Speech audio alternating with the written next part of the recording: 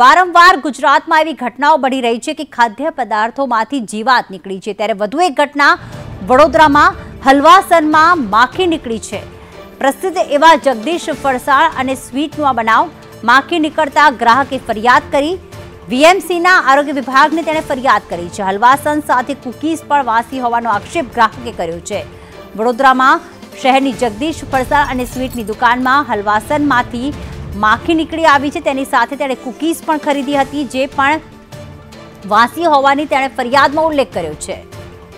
હિરણ મોદી અમારી સાથે જોડાઈ ગયા છે. હિરણ આ ગ્રાહકે તે ઓનલાઈન મંગાવ્યું હતું કે પોતે દુકાનમાં જઈને આ જે ખાદ્ય પદાર્થો તેની ખરીદી કરી હતી, તે શું ફરિયાદમાં કઈ બાબતનો ઉલ્લેખ કરવામાં આવ્યો છે?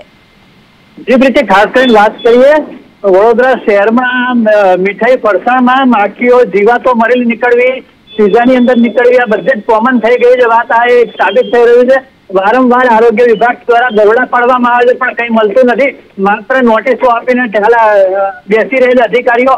પરંતુ આ તાજેતરમાં શનિવારના રોજ આ ગ્રાહકે ત્યાંથી મીઠાઈ લીધેલી, દુકાન ઉપર જઈને મીઠાઈ લીધેલી. ઝેર ઝેર જ્યારે ખોલું પેકેટ ત્યારે અંદર મરેલી માખી નીકળી અને જે કુકીઝ લીધેલા, એ કુકીઝ પણ વાસીઓનું બહાર આવતા તરત જ ગ્રાહકે ત્યાં દુકાનદાર પાસે પહોંચ્યો હતો. અને બોલાચાલી પણ થઈ હતી બંને વચ્ચે, ત્યારે આજે સોમવારે અને મંગળવારના રોજ આજે અધિક આરોગ્ય અમલદારને આ બાબતે એમને વોટ્સઅપની અંદર ફરિયાદ કરી છે અને તાત્કાલિક આ દુકાનદાર સામે પગલાં ભરવાની માંગ કરી છે, જેથી કરીને અન્ય નાગરિકો આવા ભોગ ના બને અને જે દુકાનમાં ગુણવત્તાવાળો પદાર્થ રાખવો રાખવો જોઈએ, એ પણ મેન્ટેન કરે, એ રીતની રજૂઆત કરી છે. જી બ્રિટિશ આભાર હિરેન, તમામ વિગતો માટે. તો એએમસીના માફ કરશો વીએમસીમાં ફરિયાદ કરવામાં આવી છે. ગઈકાલે પણ મણિનગરની ગ્વાલિયામાંથી મીઠાઈ મંગાવવામાં આવી હતી. તેમાં પણ જીવાત મળી આવી હતી. ત્યારે ત્યારે સીલ કરવામાં આવ્યું છે. ત્યારે શનિવારે વડોદરામાંથી જે જગદીશ સ્વીટ એન્ડ ફરસાણ છે, ત્યાંથી હલવાસન લીધું અને ગ્રાહકે ફરિયાદ કરી કે જ્યારે તે ઘરે પહોંચ્યો, ત્યારે હલવાસનમાં મરેલી માખી હતી. એટલે કે, ક્યાં ગ્રાહકો સાથે ચેડા કરવામાં આવી રહ્યા છે.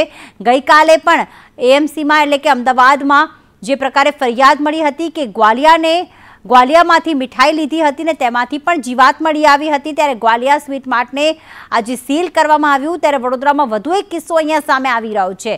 બંને પ્રસિદ્ધ સ્ટોર છે અને લોકો ગ્રાહકો વિશ્વાસ મૂકીને ત્યાંથી મીઠાઈની, કેકની અલગ અલગ ફરસાણની ખરીદી કરતા હોય છે. પરંતુ કહેવાય ને કે મોટા મોટા નામ અને પ્રસિદ્ધ થયેલા વેપારીઓ આ રીતે ગ્રાહકોના આરોગ્ય સાથે ચેડા કરતા કચકાતા નથી, કારણ કે તેમને એવું કે અમારું તો નામથી ખાદ્ય પદાર્થો વેચાઈ રહ્યા છે.